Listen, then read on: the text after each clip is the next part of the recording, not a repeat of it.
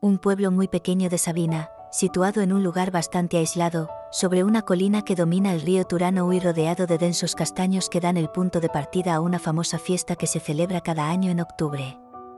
Muy interesante es el complejo de Santa María del Carmelo, un pequeño santuario que, a lo largo de los siglos, ha representado un destino de peregrinaciones y un motivo de profundo interés espiritual para los habitantes de la antigua Petestia.